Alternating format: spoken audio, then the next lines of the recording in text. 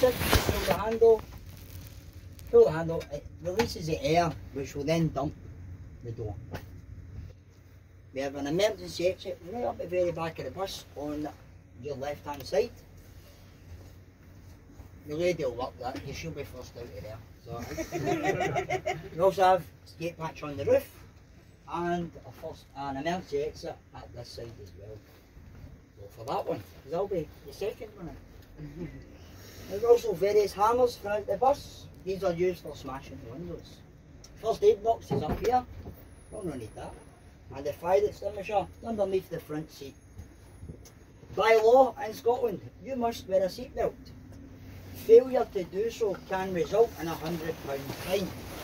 However, it is not a law the driver can implement. But the same, you should always wear your seatbelt. Now that I have told you, I should get a hundred pound fine. Apart from the kids that are on the bus, the, I'm afraid to say the kids, it's me that gets your hundred pound fine. you need it yourself, it's an expensive. To leave here, we are going to travel to Loch Lomond. Have Loch Lomond our directions to the cruise. Yeah, cruise takes an hour. Uh, when we get there, we pull in. Anybody that wants to do the cruise, we jump off. I'll show you to go. And anybody that doesn't want to do it, we can the bus. Give you a couple of options that are available. From there, we will head to a place called Aberfoyle, where we stop for lunch. Just a wee town. So it is.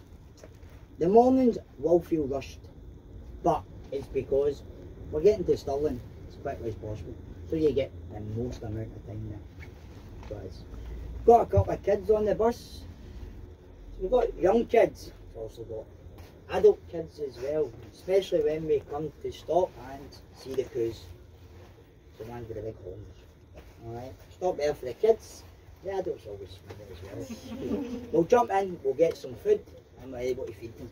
Alright, because the Highland queues are always a winner. Sorry, no. They're the hairy queues. So. We leave then, and we'll get to Stirling Castle, the most important castle in Scotland.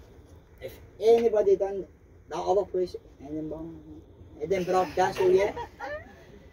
Yeah, listen, Edinburgh's not a castle, it's a three barracks. But if anybody has done it, I say to everybody, if you're in two minds whether you want to do another one or not, I promise you, you'll not be disappointed at Stirling Castle. If you can come out and say to me, Edinburgh is better, do you know what? I'll pay for the tour. Never has anybody come out and asked for a refund. Sadly, Edinburgh, it gets too much attention from me. Too busy, too over tourism, far too expensive. If anybody's done Edinburgh Castle, your honest opinion, what would you think? To me personally, it's a museum. Every museum in Scotland is supposed to be free. Because it's Edinburgh, because it's the capital city, they charge people. And to me that's wrong. So it's. Plus, Edinburgh's no Scotland's capital city. it's actually England's capital city of Scotland. So it is. Because it's a way England can govern Scotland easily. It's so close to English border. And Edinburgh at one time did used to be part of England, part of Northumbria. So is. Sadly, there's so many places we should be talking about. Places like Scone Palace and things like that. And we'll do that throughout the day. I do come with a small warning. Alright? Now, I've told everybody where the emer- emergency exits are. See if anybody's easily offended. Name me the big man up here at the back, right? Because he's from England. but if anybody's easily offended, man, just just jump off now. Alright? because today we do talk about how Scotland and England hated each other and things like that. And we need to emphasise how bad it was back then because of a story that follows on from it. And the reason I come with a warning is because Scotland has now introduced a new hate crime law. Now this is the stupidest law ever. To give you an idea of how stupid, what colour of hair have I got? Ginger. Ginger. So I identify my hair as being strawberry blonde. Do you know technically you have just committed a hate crime in Scotland? Wow. Believe it or not.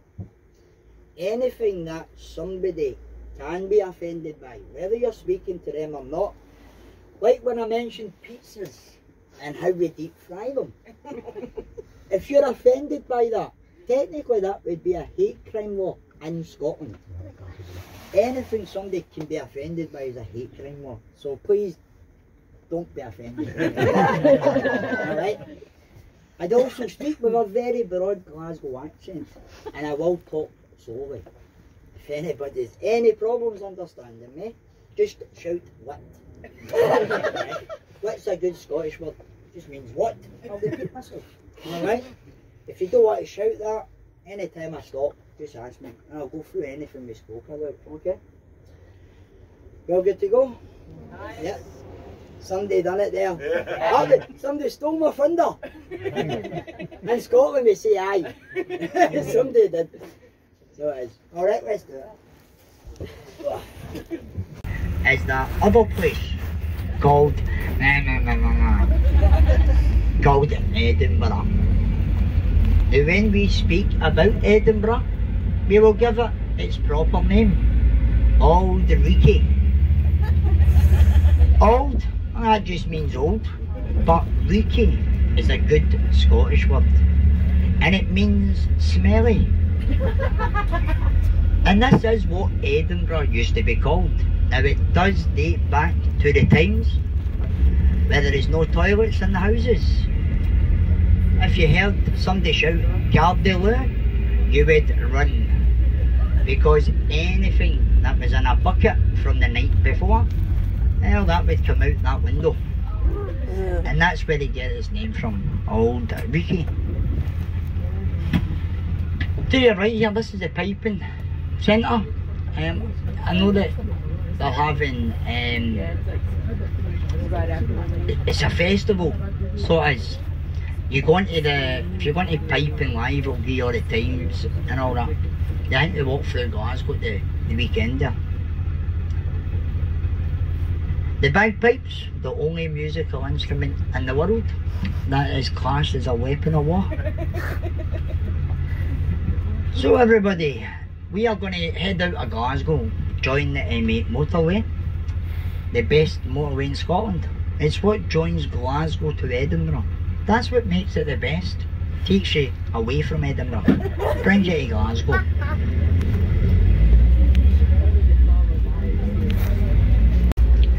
Everything seems to get a nickname. And we find this out as we leave. Now we are going to cross over the Kingston Bridge.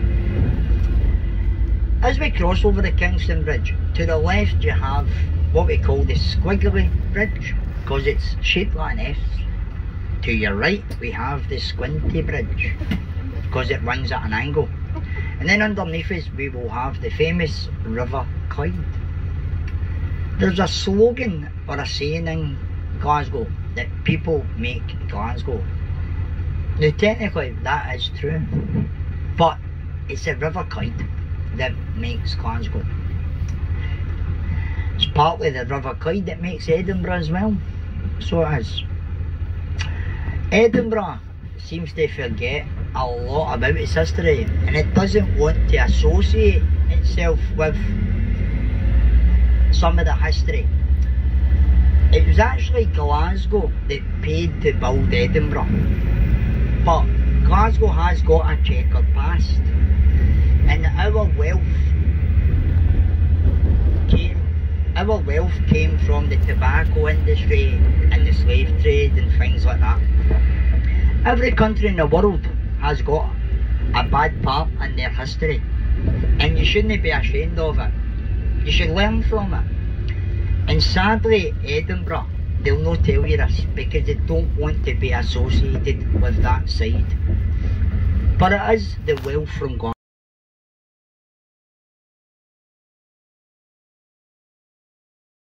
And underneath us, to the left, we have the town of Old Kilpatrick. We get these names from St. Patrick, the patron saint of Ireland. And that's because, well, St. Patrick is actually Scottish. He was stolen from here by Irish travellers. If anybody's from Ireland, you will say that he ran away. And that's how we get the names Old Kilpatrick and the Kilpatrick Hills.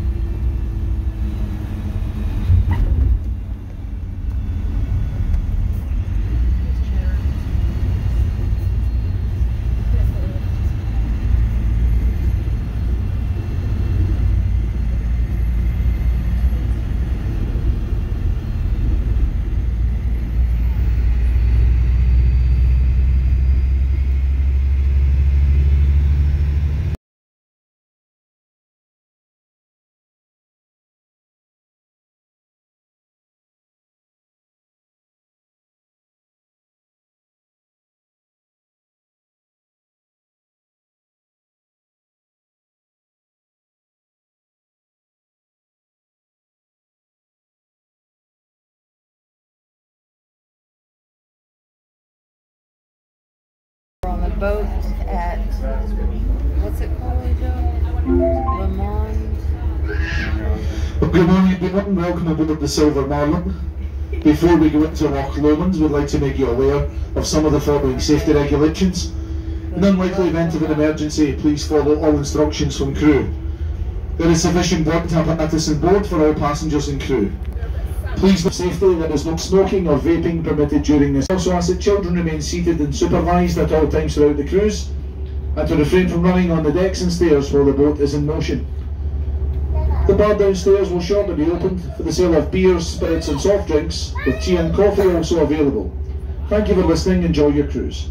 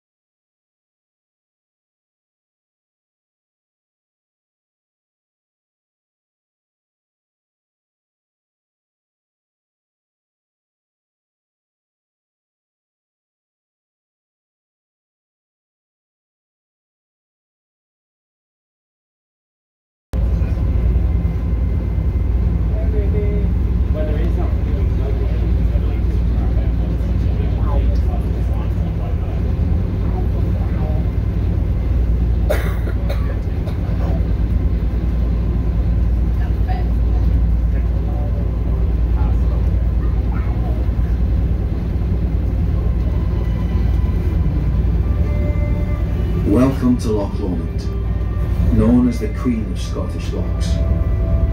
It's the largest expanse of fresh water in Great Britain. 23 miles long, 5 miles wide, and at its deepest point at the northern end, the loch is 636 feet deep, making it the third deepest in Scotland. The River Lee, which we are now leaving, is the loch's only outlet running from here into the River Clyde in Dumbarton, and from there into the Atlantic Ocean. The area is home to an abundance of wildlife, and its history is as rich as the landscape that surrounds these mysterious waters. It's a place where kings have trod and outlaws roamed. It has inspired writers, musicians and artists for generations.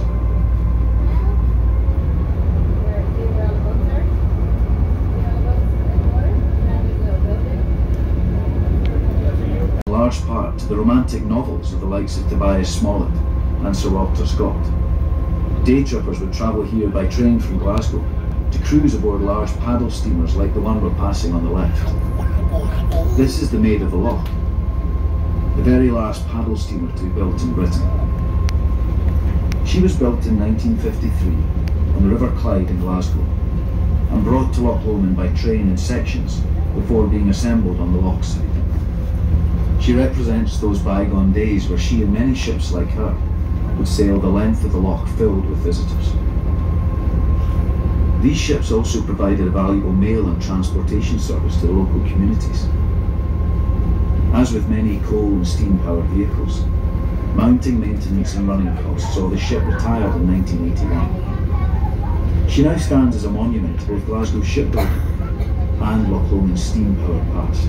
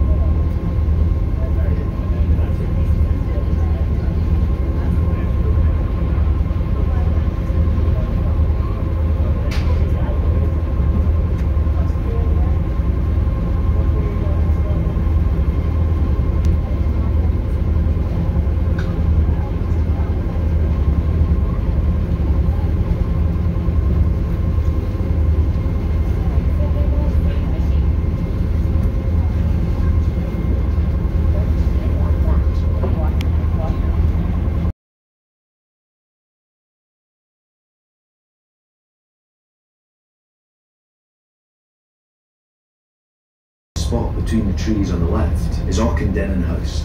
Auchendennan House was commissioned in 1860 by the Glasgow-based tobacco merchant George Martin and was designed by famous Scottish architect John Burnet.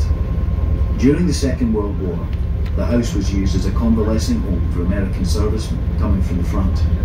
After the war, as a goodwill gesture, the house was converted into a youth hostel, thanks to a generous donation from American trade unions. The house remained a youth hostel until 2012. Today it is owned by Loch Lomond Distillery, who use it as a base for their offices.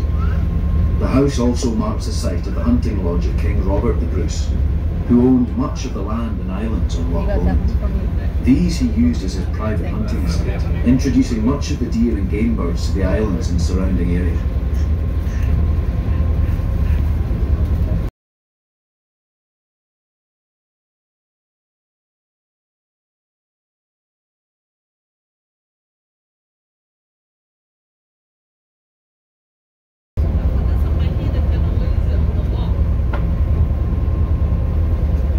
A couple of years ago, I came up to Scotland to find like the Camlin Lighthouse, um, which are next to one uh, wonderful loch called Loch Lockheed.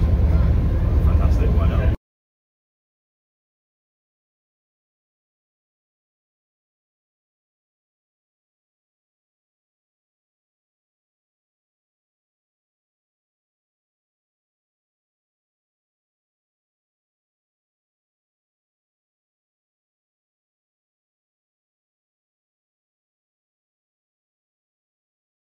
Bank to our far right.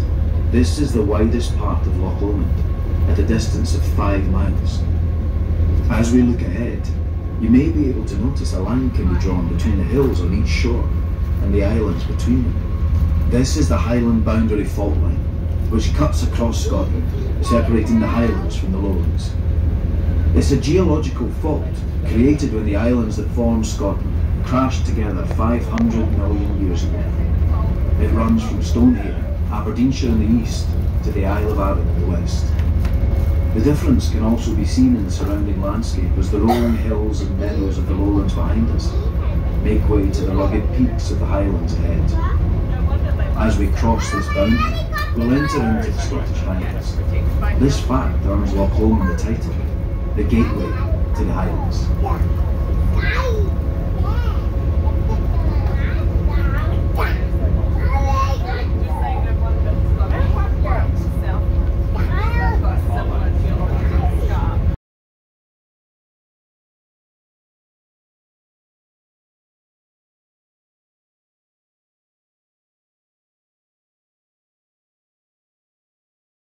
meeting of two contrasting cultures.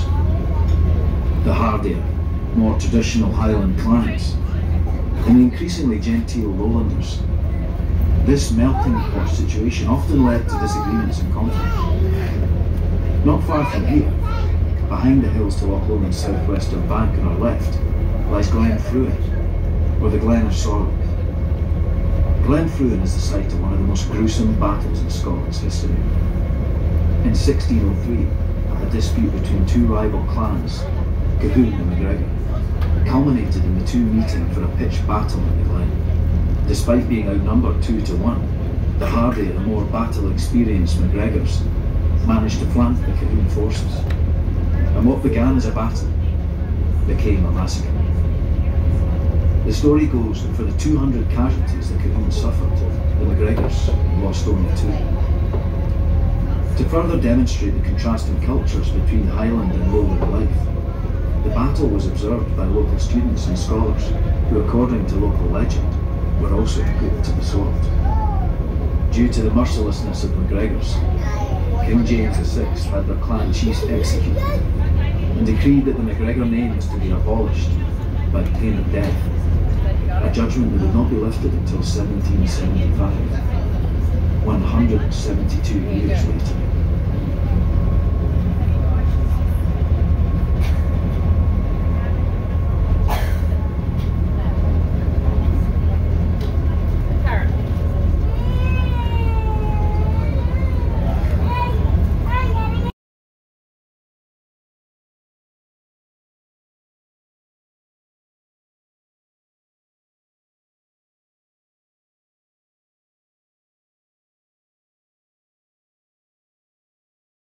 Years ago.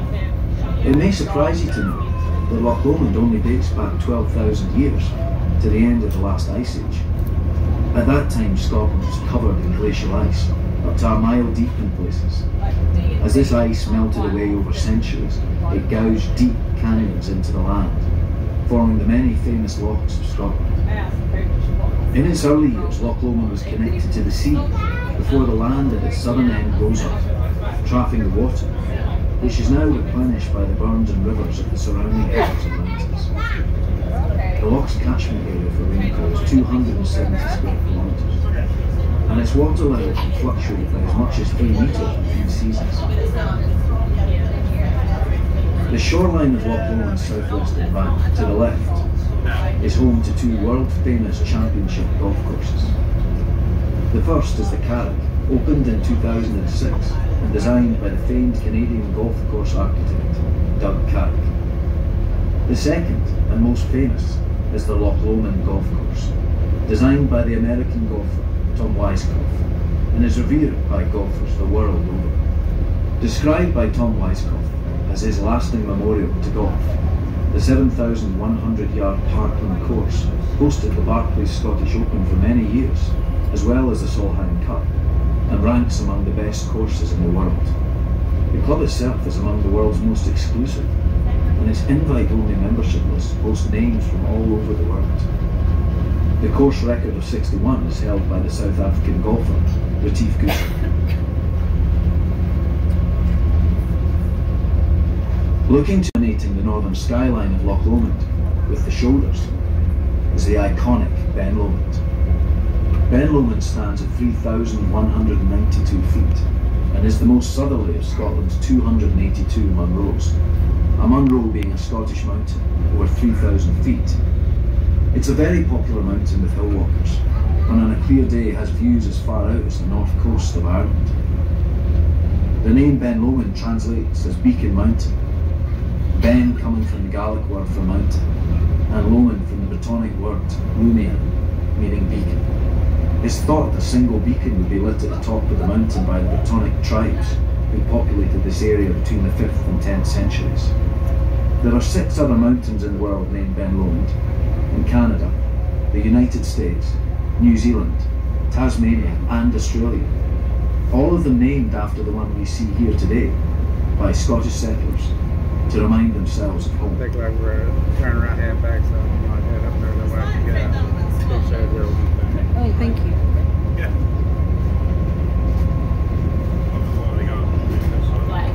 The 23 named islands of Loch Lomond are known as the jewels in her crown, and each has their own unique history and legend. In ancient times, the islands became home to what was to be kept hidden, or secret. There are the remains of ancient, illicit whisky stills on several of the islands, as well as the ruins of many monasteries and castles. One of Loch Lomond's islands, the island of Inchconn, is even home to around 50 wallabies, which were brought from Australia in the 1950s. The island we're approaching on our left is the largest of these islands. This is the island of Inchmurrin. Inchmurrin is a mile and a half long by a half mile wide and is the largest inland island in Great Britain. The island has been inhabited since the 6th century when the monks of St Mirren set up a monastery. Between the trees on the bank, you may be able to spot the ruined remains of Lennox Castle. The castle was built by Duncan, eighth Earl of Lennox in 1393. It was, for a short time, the residence of Mary Queen of Scots before her capture and execution on the orders of her half-sister, Queen Elizabeth I of England. Much later, another famous visitor to the island was legendary Scottish outlaw Rob Roy McGregor, who led a night raid on the island, which by this time was used as a base for government forces. He and his clansmen stole the island's cattle, as well as all of the island's boats to avoid pursuit. Today the island is privately owned by the Scott family. It has a small farm, hotel and a restaurant, and is a very popular destination in summer for local boat owners and water sport enthusiasts. During the summer months they run a ferry service between the island and Ireland for visitors.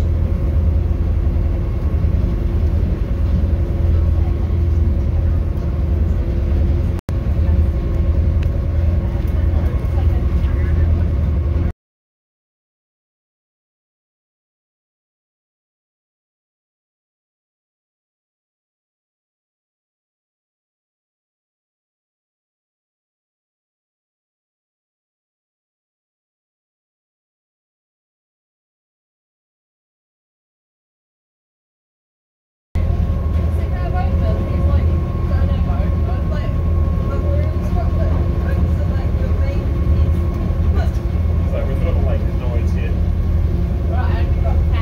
Yeah.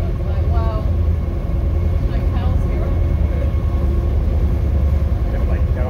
I'm glad that we get to go for you Highland cruise. Like, I did not Yeah. see that on the tour No, no, no, list. I'm not but involved there, but it's like, well, give it a list as well. Yeah. Pretty much the state is six wild cows. To, to the point of breaking down in tears, which is six wild cows.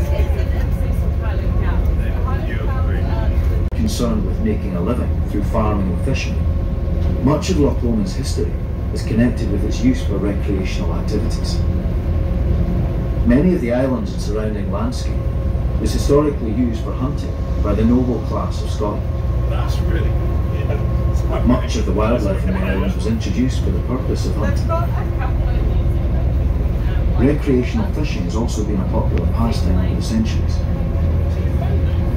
In 2013, the Loch Lomond Angling Association introduced a catch and release policy in the law, which has seen not only the number of fish increase, but also an increase in the numbers of nesting birds of prey in the area.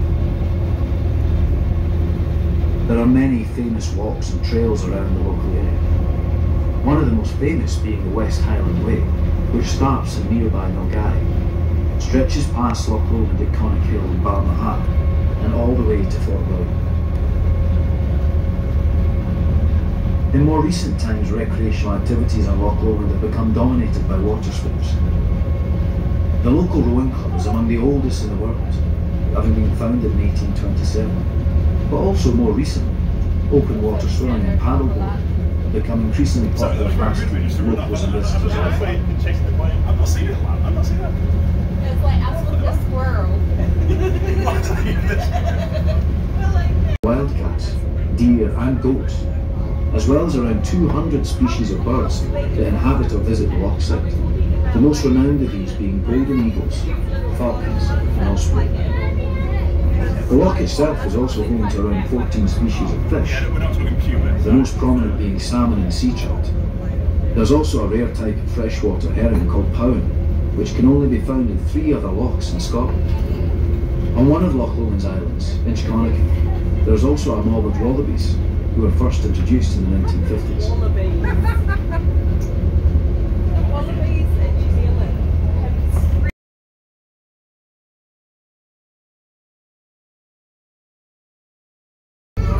Guys, this is so pretty. I hope y'all can kind of tell how beautiful it is. The water is so blue.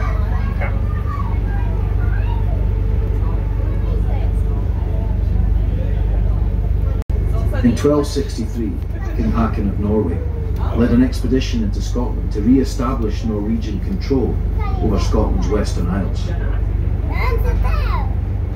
The Viking flotilla entered Scotland from the west coast and was able to sail to neighbouring Loch Long, where a breakaway fleet led by King Magnus of Man were commanded to drag their longboats one and a half miles overland to Loch Lomond. With the Lennox forces leaving to join with the rest of the Scottish army, Loch Lomond side had been left defenceless. The Vikings undertook a three-day reign of terror, burning and pillaging their way through the undefended monasteries, crofts and villages lining the loch shores and islands. The breakaway fleet exited Loch Lomond via the River Leven and reassembled with the main Norwegian army in Dumbarton. They were eventually defeated by the forces of King Alexander III at what is now known as the Battle of Largs. It was to be the last ever Viking expedition to the British Isles, forever leaving the Western Isles of Scotland under Scottish control. it was still people. Not foreigners. How many heritage sets are with paraphrasing? Are you finished this?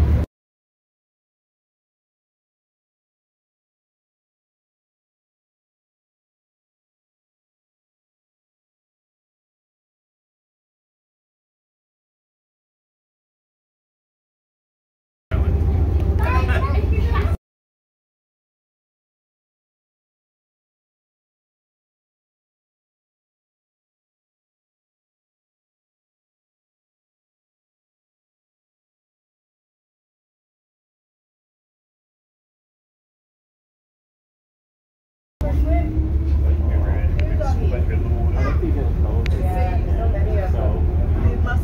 Oh, there's a dog having a swim in a tree. Um, yeah, you can see from the, the tenant colour.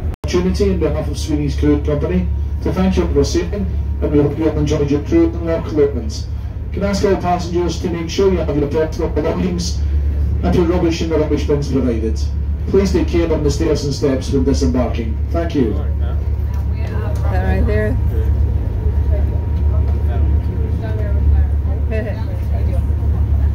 That's just in case it rains, ain't it?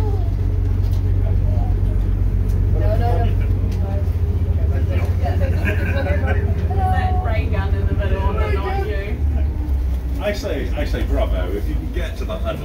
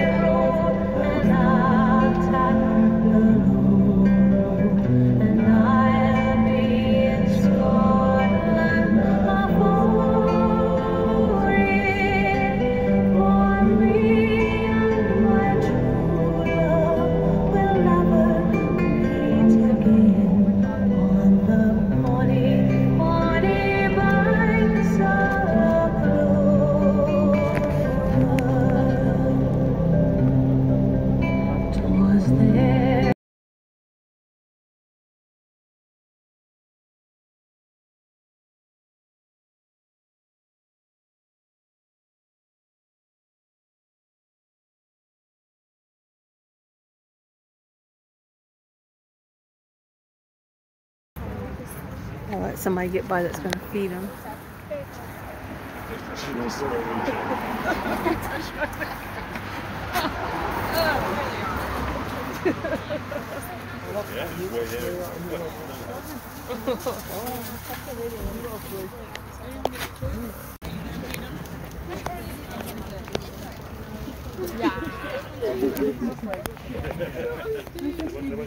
no, they won't. It has to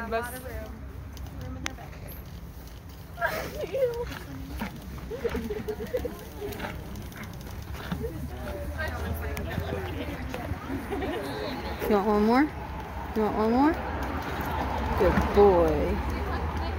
Your tongue is rough. Yes, it is.